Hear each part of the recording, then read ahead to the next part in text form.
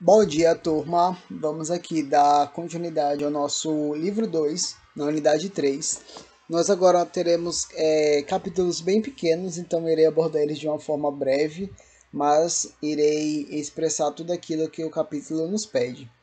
O tema da nossa, da nossa unidade são as tensões e conflitos na Europa.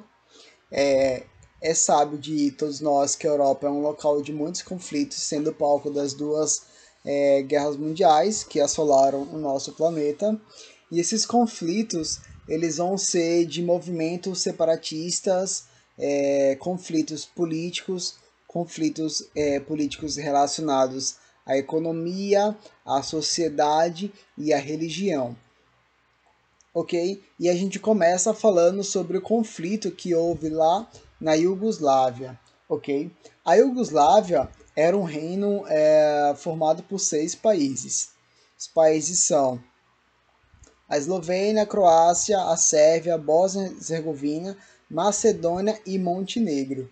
Ok? Então, todos esses países eles formavam apenas um reino só, sob a liderança do Tito. O nome do cara é Tito, parece nome de gato, né? Mas beleza, vamos lá. Bom, aqui a gente dá uma olhada sobre esses países que formavam a, a Iugoslávia. A gente percebe uma característica que mostra o porquê houveram muitos conflitos nessa região. Quais são? A diversidade, ok? O europeu ele não sabe lidar com essa questão da diversidade, principalmente quando a gente fala numa diversidade religiosa. E aí você mistura católicos, protestantes, cristãos, muçulmanos, e aí você já viu, conflito não acerta. É, aqui nós temos a característica desse, dessa população, então é sempre muito homogênea.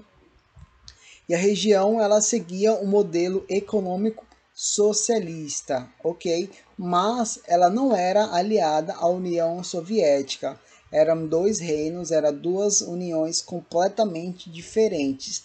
Estavam no mesmo continente, mas elas não eram aliadas, elas eram independentes entre si, ok? Ah, mesmo durante o governo do Tito, ah, tinha a satisfação de alguns povos, né? Nunca é perfeito, mas a, a região ela sempre foi muito unida.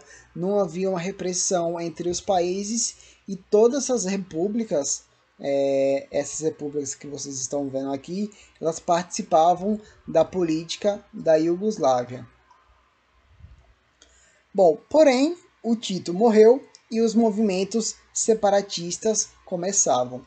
Nós vamos estudar nesse capítulo esses movimentos separatistas. Esses movimentos, é, como o próprio nome diz, eles são movimentos de separação é, do seu território para se atingir a sua independência, ok? Aí você tem vários fatores que fazem você é, ter esses movimentos. A diferença na sua cultura, é, a diferença economicamente, diferença religiosa, enfim, vários aspectos econômicos e sociais que fazem surgir esses movimentos separatistas, beleza? Então, ok, o Tito morreu e nesse contexto assumiu o líder é, Milosevic, que é um cara da Sérvia, ok? Bom, ele tinha o intuito de manter o, o país é, unido, a Iugoslávia unida. Só que ele fez isso em um projeto de controle de repressão total. E é onde a gente viu, né? Se tem repressão, tem conflito. Se tem conflito, tem separação. Então, foi aí que em 91, Croácia, Eslovênia e Macedônia deram basta nisso e foram declarar a sua independência. Bom, a Macedônia conseguiu de uma forma pacífica, já a Croácia e a Eslovênia tiveram alguns conflitos ali com o governo da Iugoslávia, que não estava aceitando, sob o poder desse camarada aqui, de se tornar independente. Ok? Beleza. Porém, como o livro de vocês está citando, foi na Bósnia-Herzegovina que tinha proclamado sua soberania em 90 que começou aquele processo de independência. Só que aí é, tem uma, uma, uma briga muito é, interessante de ser citada. Nesse local foi onde tiveram as maiores guerras civis, então ocorreu uma onda violen é, violenta de conflitos na população e a população ela era é, os bósnios muçulmanos, croatas católicos romanos e sérvios cristão ortodoxos. ortodoxos. Então, o que significa aqui? Três povos diferentes, de religiões diferentes, querendo se separarem, obviamente ia dar guerra, ia dar conflito. Ok? Vamos lá. Os bósnios e os croatas, eles desejavam a independência. Só que a maioria da população desses países era da Sérvia, que tinha como líder um sérvio da Iugoslávia, ok? Então, deixa eu voltar aqui. Pronto. É, então, mesmo a Sérvia não se envolvendo na guerra, a sua população era da Sérvia.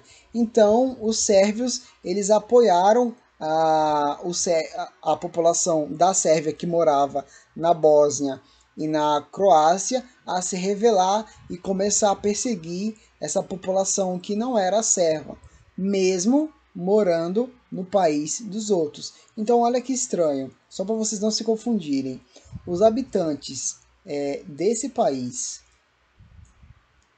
e desse país, muitos deles eles, é, eles moravam, eles eram da Sérvia, ok? Mesmo eles morando na Bósnia, eles eram sérvios. Por quê? Porque antes eles eram um país só, ok? Aí, quando eles foram se separar, o pessoal que estava é, na Sérvia, eles estavam aqui também. Eram tudo o mesmo país, mas depois que este país quis se tornar independente, a população daqui pertencia a esse país. Então começou o que? Brigas entre eles. Vamos lá. É, o resultado dessa briga foi mais de 200 mil pessoas mortas e um milhão de refugiados. A briga só terminou quando fizeram tratados em 1995 e os Estados Unidos ameaçou de fazer uma intervenção militar naquela área. Só para vocês verem como é que a, a treta nesses locais estava muito forte, ok? Vamos lá. Posteriormente, em 98, o Milosevic, que é um sérvio que estava controlando a Iugoslávia, é, perseguiu a população da província de Kosovo, que é um objetivo que tinha o objetivo de retomar o nacionalismo. É essa província aqui, ó. Cadê? Aqui.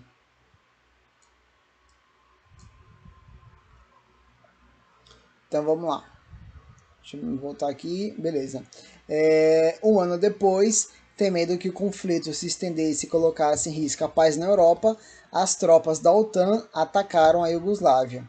Ok, então houveram alguns bombardeios, alguns conflitos e o Milosevic é, ele se rendeu e acabou tirando as suas tropas da província e essa província agora ela é controlada pela ONU. Depois ela começou a começar um processo de independência até que em 2008 Deixa eu ver aqui. Pronto, em 2008 ela se tornou independente. Só que vários países ainda não é, aceitam essa independência, inclusive nosso amado Brasil. Vamos lá. O que, aconteceu com Milosevic? Bom, ele foi preso, a Iugoslávia é, caiu e ela passou a se chamar Sérvia e Montenegro, que são dois países. Em 2006, esses países se separaram e cada um é cada um no seu quadrado. Agora, a Sérvia é um país e Montenegro é outro. Então, a Iugoslávia não existe mais. Ela deu é, agora é, espaço às suas repúblicas independentes, que são todos esses países aqui. Antes era tudo a mesma coisa, Iugoslávia agora não é mais. Agora, agora cada um é um país independente. Beleza? Vamos lá. O rapaz que estava fazendo esses conflitos, ele foi julgado na cadeia, só que ele morreu antes de ser sentenciado. Ele foi encontrado morto lá na prisão. Aqui nós temos o conflito basco. O conflito basco é lá na Espanha. O que, que acontece aqui? É, É uma região e essa, essa população basca ela está lá no norte da, da Espanha e na sudoeste da França, aqui, sudoeste da França e a nor norte e nordeste da Espanha. É uma população completamente atípica, ok? Ela faz parte do território da Espanha. Só que o que acontece aqui? Essa população ela é completamente diferente em termos de cultura e ela visa é, a sua independência, ok? Eles querem se tornar independentes da Espanha. Tanto é que além da sua cultura ser completamente diferente da cultura espanhola, a língua deles não pertence a nenhum ramo linguístico europeu. Eles têm uma língua própria, que é a língua basca, ok? Então vamos lá. É, desde o século XIX, essa população desenvolve um movimento nacionalista que é motivado pela sua diferença cultural e linguística, ok? Então, é, na Espanha teve uma guerra civil espanhola, que vocês já devem ter visto isso em história. Se não viram isso, ainda verão. E algumas divergências internas, em especial com o povo basco, motivou o ataque alemão aonde esse povo vivia. Então, é, os alemães invadiram essa região aqui, a região basca, e destruíram tudo. É, for, foram massacres, bombardeios, enfim. É, isso fez com que um pintor é, espanhol muito famoso chamado Pablo Picasso fizesse uma pintura que vocês é, vão estudar em artes e se vocês não estudaram ainda irão estudar que retrata a violência nesse período. Essa arte é chamada de Guernica. Ok? Vamos lá. Então, a guerra civil lá na Espanha acabou, é, o Franco assumiu o poder e fez várias restrições à região basca. Aí essas restrições eram muito pesadas. Eles não podiam nem expressar sua cultura e nem falar sua própria língua, que era a língua basca. Eles tinham que falar a língua espanhola, falar o espanhol. Tranquilo? Graças a isso, ninguém ia ficar é, de mãos, é, de braços cruzados, surgiram movimentos separatistas, que é o ETA. É, o significado é Pátria Basca e Liberdade. Tem esse nome aqui, mas eu não vou arriscar a minha língua basca porque eu não sei falar esse negócio. Então, em português, significa Pátria Basca e Liberdade. E essa, esse movimento, como todo movimento separatista, buscava a liberdade da região em relação a Madrid, que é a capital da Espanha, beleza? Então eles queriam que ele se tornasse independente e claro que tudo isso é, gerou vários conflitos, terrorismos e muitas guerras no território espanhol até o fulano Francisco Franco, que era o ditador de lá, morrer em 75. Aí, gente, quando ele morreu em 75, a Espanha não era mais é, uma ditadura, se tornou uma monarquia, e essa monarquia deu é, muita, muito espaço para a região basca e a região da Catalunha, que a gente já vai falar sobre ela, para elas se tornarem mais autônomas. Então elas já poderiam fazer é, seus partidos políticos, ah, a sua constituição mudou, então isso fez com que a, a população basca ficasse satisfeita. Ela não conseguiu sua independência, mas ela conseguiu uma certa liberdade. Então eles é, acabaram de ficar nesses conflitos com Madrid, com a Espanha, para conseguir a sua liberdade. Beleza? Já o conflito na Irlanda do Norte, aqui, gente, essa aula é só briga, beleza? Só treta. É, já o conflito da Irlanda do Norte é um conflito por causa da religião, ok? É, a gente tem que entender alguns aspectos históricos aqui. Nós temos a Irlanda e a Irlanda do Norte, e a maioria da população é, da Irlanda é, ela é uma população a 60% protestante. Já da República da Irlanda, é, 97% da população é católica. A Irlanda do Norte é protestante e a Irlanda é católica, ok? Isso é a gente já sabe. Intolerância, preconceito, discriminação, tudo isso, toda essa, essa briga religiosa fizeram com que esses ambos os países tiveram é, vários conflitos entre si, ok? Vamos lá. As diferenças religiosas, principalmente entre católicos e protestantes, provocaram inúmeros conflitos na região. Quando a ilha foi administrada pelo rei Henrique e posteriormente pela Elizabeth, que é a filha dele, os católicos foram perseguidos e perderam alguns direitos, o que obviamente gerou revoltas e os católicos tinham o objetivo de formar um governo autônomo e expulsar os protestantes.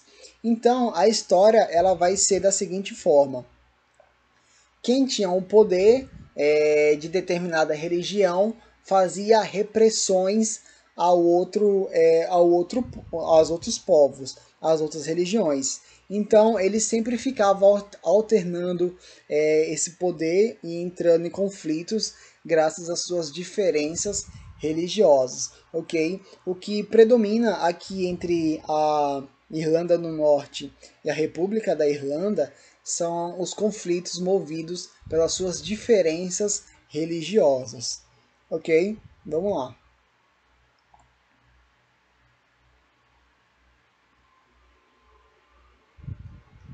Aqui, pronto. Os católicos, eles continuavam a reivindicar seus direitos, mesmo é, tendo presença inglesa. É, os, o, a presença inglesa não era bem vista pelo, pela população da Irlanda, e tudo isso motivava, além da questão religiosa, uma questão de independência desses países. Então, eles sempre estavam tentando é, se tornar independentes e assim é, conseguir a sua autonomia, porque com a sua autonomia esses países teriam mais liberdade para agir em seus territórios, ok? Então vamos lá. Os católicos continuavam a reivindicar seus direitos e também a reunificação da Irlanda, ou seja, juntar as duas. Obviamente não, não ia dar certo, tanto é que os pedidos não foram atendidos.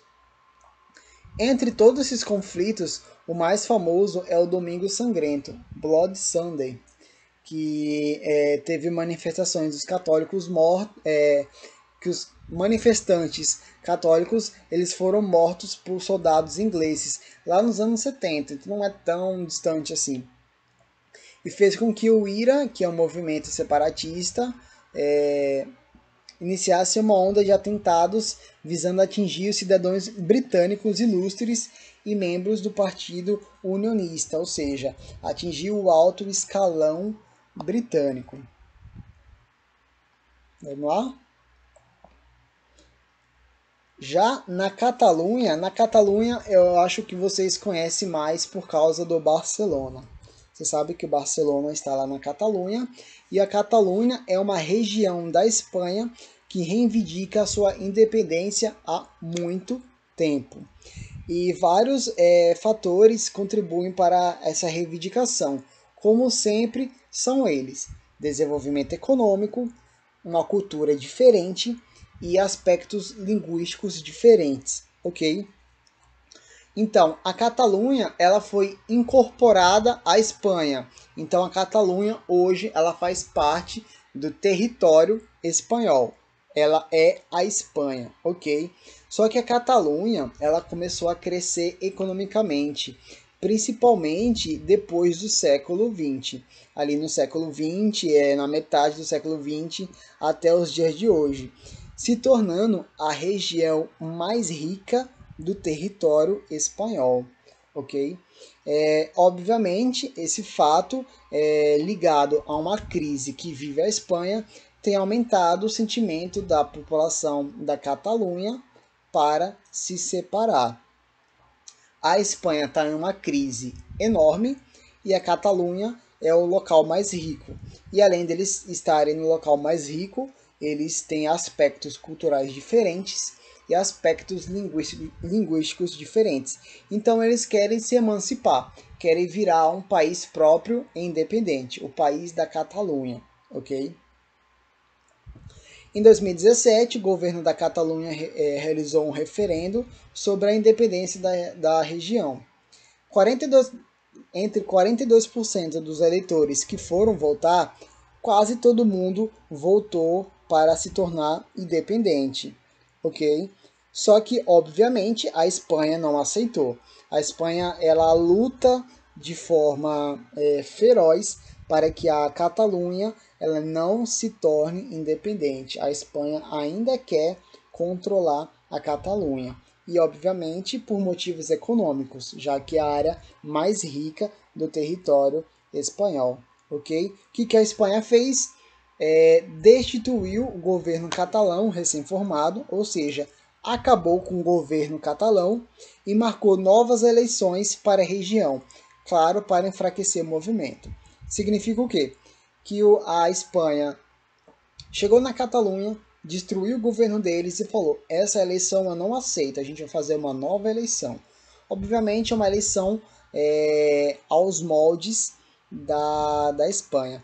Aqui é o estádio do Barcelona, todo mundo conhece, o time Barcelona, acabou de tomar 8 a 2 do Bayern. e o Barcelona, ele é um clube, é, o slogan do, do clube do Barcelona, ele é bem assim, quem gosta de futebol sabe, eles falam, eles se chamam mais que um clube. Por quê? Porque o Barcelona não é somente um time, ok? Ele é uma bandeira, ele é uma bandeira de força, é uma bandeira de supremacia. Então, quando o Barcelona ganha lá na Espanha, é como se a Catalunha tivesse ganhado, é, o país da Catalunha tivesse ganhado sobre a Espanha inteira. Ok? Então, isso mostra o, o quanto eles têm um sentimento de independência e por isso que eles abraçam tanto esse time. Essa, essa, essa foto que vocês estão vendo lá no estádio é, do Barcelona. Certo? Então, por hoje é só. Eu vou deixar aqui as atividades que vocês irão responder no plural e a gente se encontra pelo período da tarde.